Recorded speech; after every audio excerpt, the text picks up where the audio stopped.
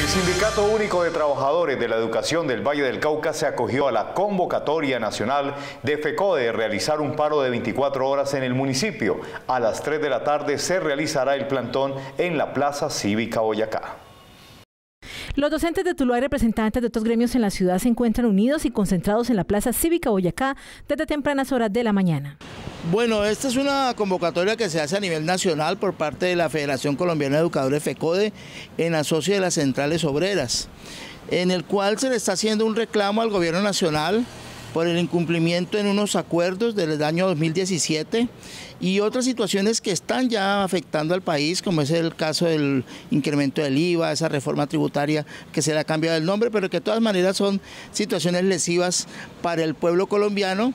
Y también el apoyo que hay que darle a los estudiantes de la educación superior, el cual también tiene unas problemáticas muy serias que no son de ahora, son de muchos años, pero que no se han podido solucionar y que es necesario que el gobierno mire que un pueblo educado pues tendrá mejores expectativas de desarrollo en todos los aspectos. La comunidad docente se acogió al paro de 24 horas para presionar al gobierno nacional sobre varios aspectos relacionados con la educación y otros temas que afectan el bolsillo de la ciudadanía. Bueno, esta jornada que se convocó para hoy, 28 eh, de noviembre, es un paro de 24 horas con toma de capitales. Hay marchas en este momento que se han desarrollado en Bogotá, en Cali, en todas las capitales de Colombia. Y específicamente acá en Tuluá, pues se tendrá un plantón a partir de las 3 de la tarde en la Plaza Cívica Boyacá, donde se van a